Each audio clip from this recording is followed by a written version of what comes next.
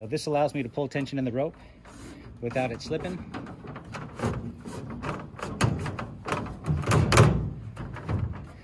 I'm using quarter inch nylon Paramax. On this side, I'm gonna tie in with a simple bowline knot, hook into my shackle, and I'm just gonna twist an overhand loop, twist that overhand loop again, and I'll push that working in through that window I just made.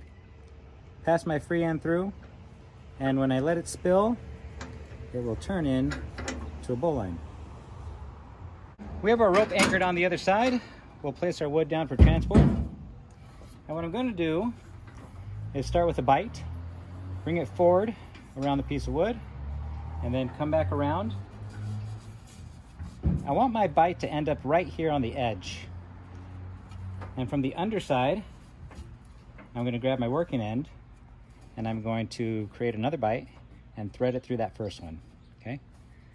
I'll pull this bite out until I have enough room to hook on to my other corner. You can't see it from this point of the video, but I'm hooking on to the other anchor point, okay? Now I'll pull this towards me to pull out the slack here and tighten up this loop. And you'll see that this piece of rope that I'm pulling ends up underneath this portion right here. And so watch what happens. Okay. That's already pretty secure. Let's tighten it a little more. There we go. I'll finish it off with a bite and two half hitches. And that's not going anywhere. All right, now we're gonna try it with a couple pieces of square tubing. Combat speed.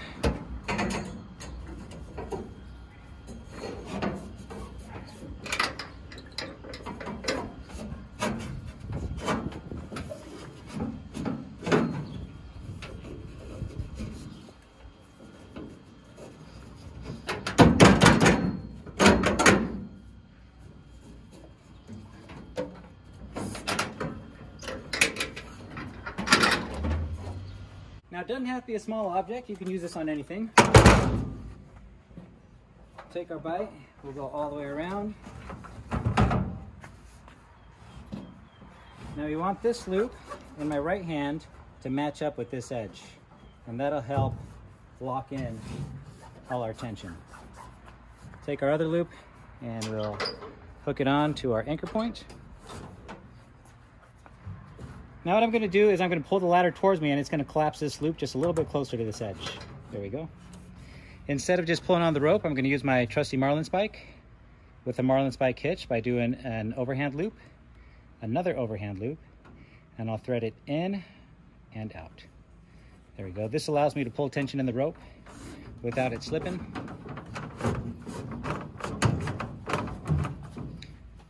Got my tension locked in.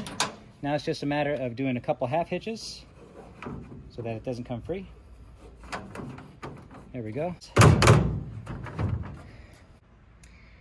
To undo this rig, I'm just gonna pull out my half hitches, pull in some slack, undo my opposite anchor point, and there we go, free. So my ladder's tied down and locked in, but let's say I wanna add a couple more pieces. Here's my square tubing. All I'm gonna do is take my working end and tie the same knot again right on top. So I'll fall forward, bring it around. Now I just need to make sure that this loop is on the edge. And then I'll go over to the other side to pull in my other bite. Here we go.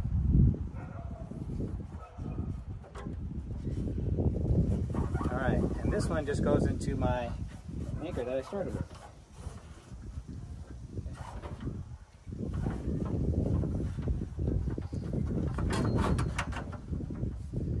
I'm going to use my same trusty marlin spike to pull in the tension. want to make sure that we're underneath this piece of rope. There we go, that gives us our lock. Okay. And now I'll tie in my half hitches to lock everything up.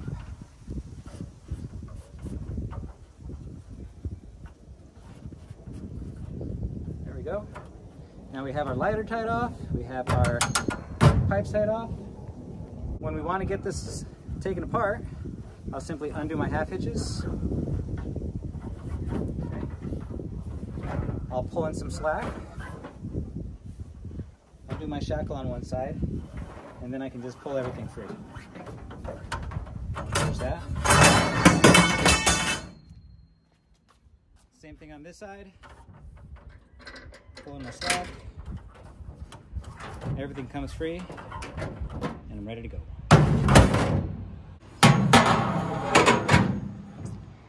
I want to end up with this pipe square in my truck bed, so I'm going to start with it at an angle, so when I pull in the tension, it'll end up square.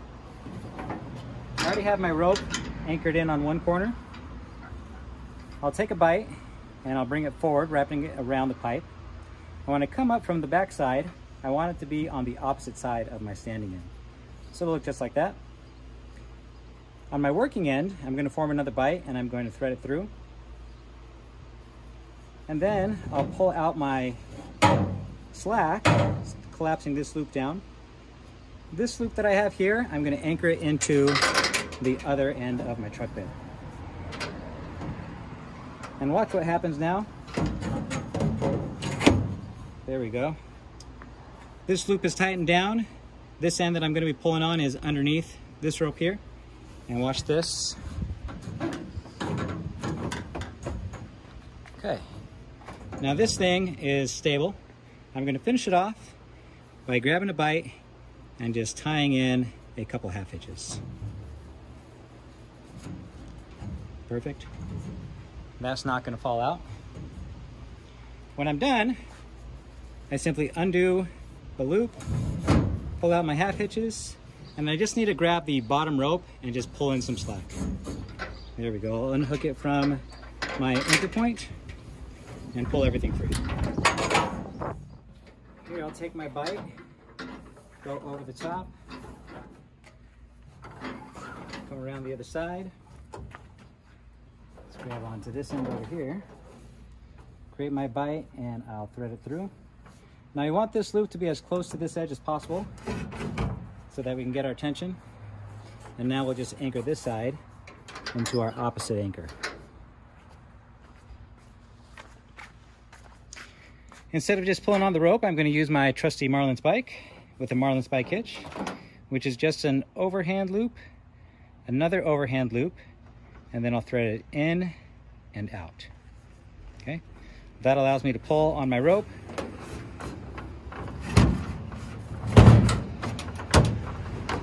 Okay, tension's locked in. Let's tie it off with a couple half hitches so it doesn't come loose.